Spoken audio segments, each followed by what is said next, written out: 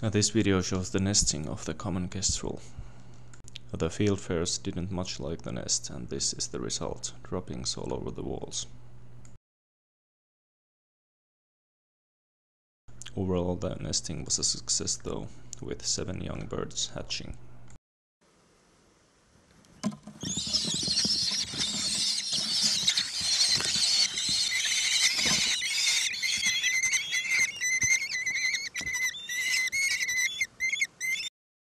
The parents are in for a lot of work in feeding the kids, but they have what it takes. The male is a good hunter and it's been a good mole year.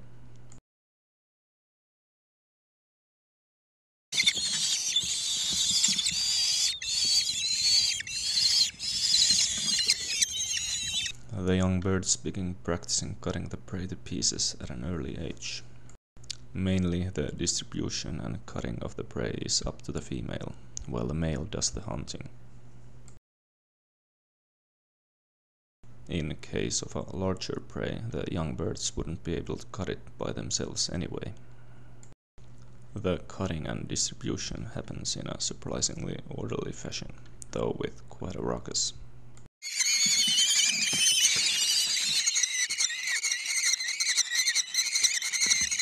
The feeding is interrupted by a threat nearby, but the parents managed to drive away these rascals as well.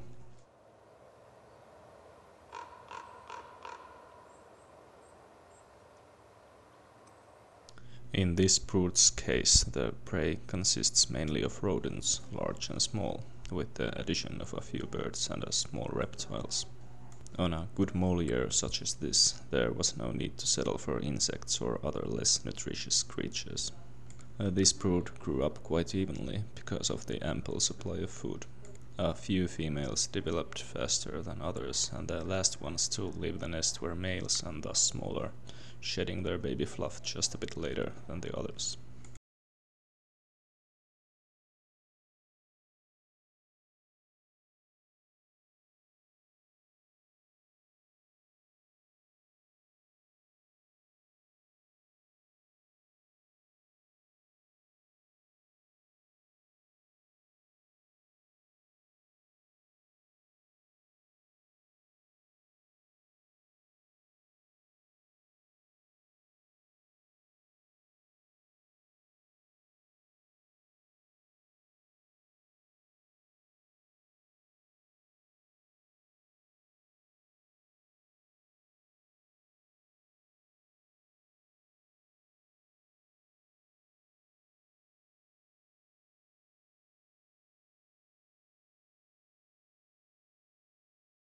Almost every young hawk living in a birdhouse becomes acquainted with the bird ringer, and this is how it looks like from the bird's point of view.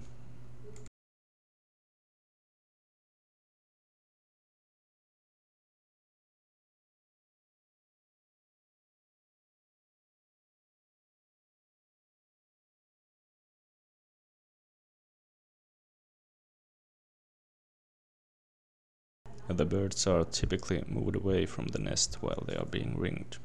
Uh, they undergo different types of examinations, their gender is defined, and a numbered ring is attached to their foot, which is later used to track the bird's life.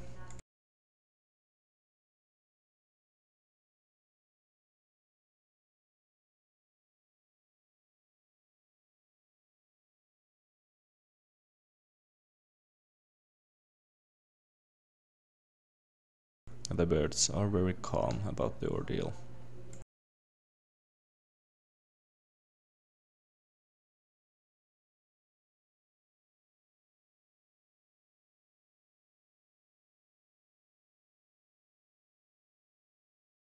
After the ring is set, the ringer lays the birds down under his wing, where they'll wait for their return to the nest. The parents' behavior during this process can differ. These parents were quite calm about it. With a few thousand ringed common kestrels behind him, this experienced bird ringer does his job smoothly and firmly. The ringing provides a lot of additional information besides just the traditional tracking of migration routes.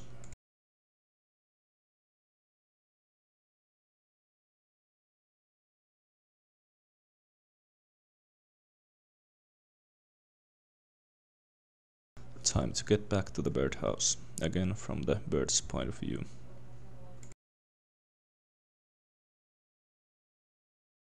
The ringer waves each bird goodbye, or rather the hand movement is there to prevent the young bird from falling out.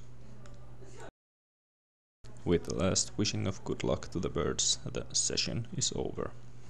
The birds are slowly beginning to shed their baby fluff, almost beginning to look like proper birds of prey now. At least this one is eyeing the camera with a hawk's eye. Now The birds are big enough to see the outside world now, which is beginning to interest them more and more.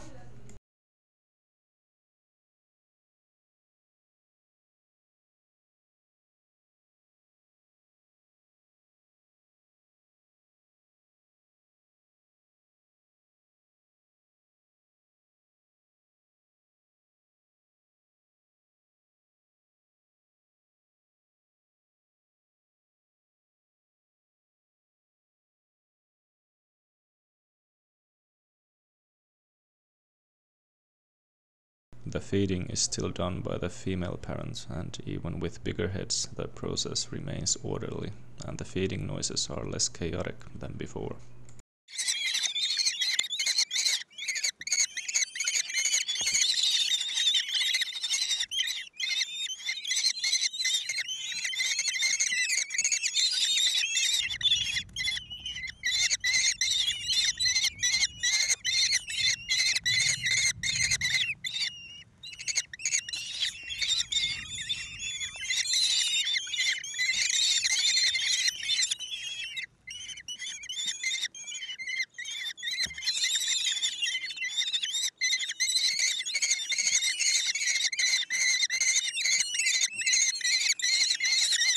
The runt of the family manages to successfully beg for a treat as well.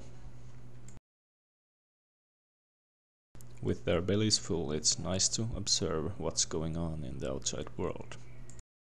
Farming devices are something the birds are guaranteed to be dealing with in the future, so it's best to learn to get along with them. After all, they share a common hunting ground, even if the prey is different.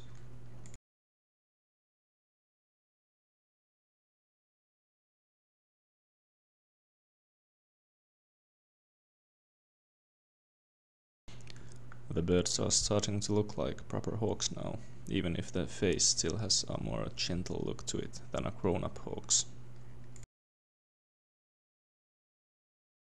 So this is what a hawk's eye looks like.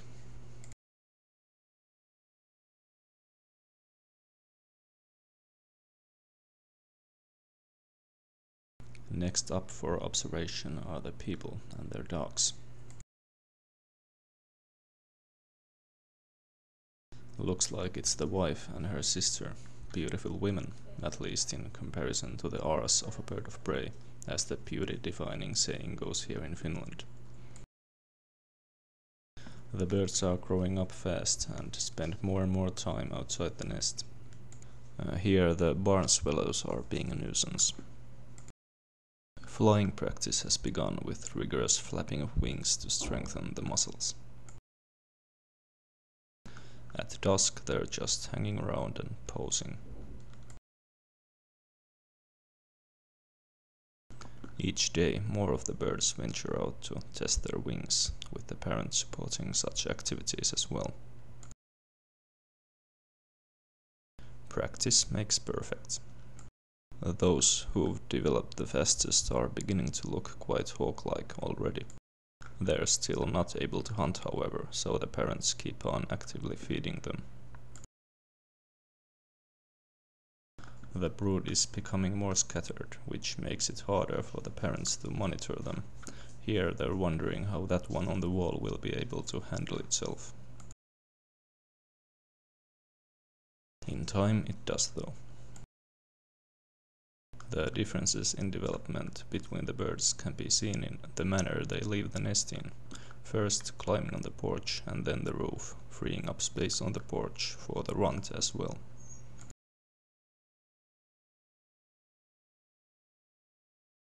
Uh, at this point, the parents are frequently encouraging the birds to follow them into the outside world. Even after that happens, the birds will still return to spend the night in the nest for about a week. Here's some morning exercise going on. The day spent practicing hunting skills such as hunting flight, seen here, and other skills of living, taking sand baths and working out their leg muscles with running exercises such as this one.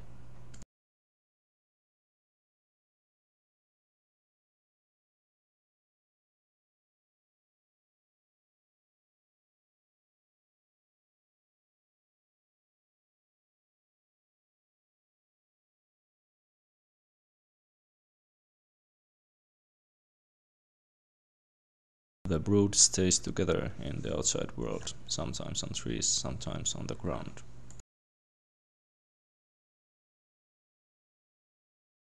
On the ground they are more active, doing all manner of jumping, frolicking and exploring, maybe even catching a few insects.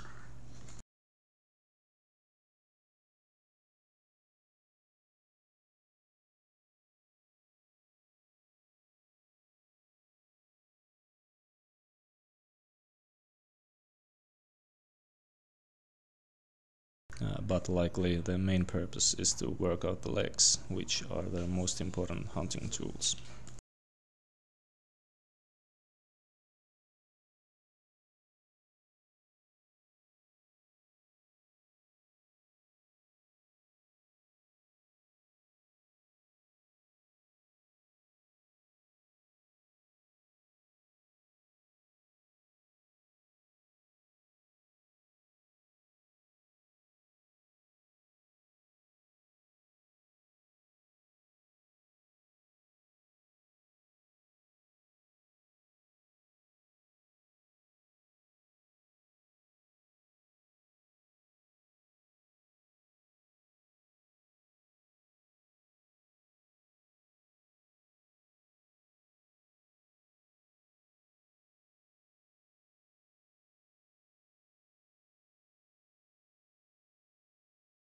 At the first sign of danger, however, they will fly up on the trees, where they will also spend their nights together.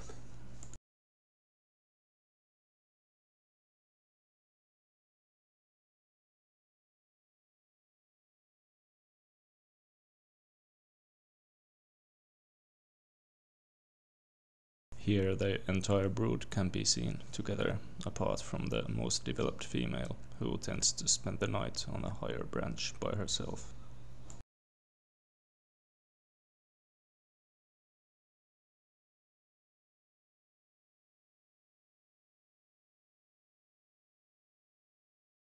They also like to spend time on good vantage points on buildings, such as the upper rim of the door here.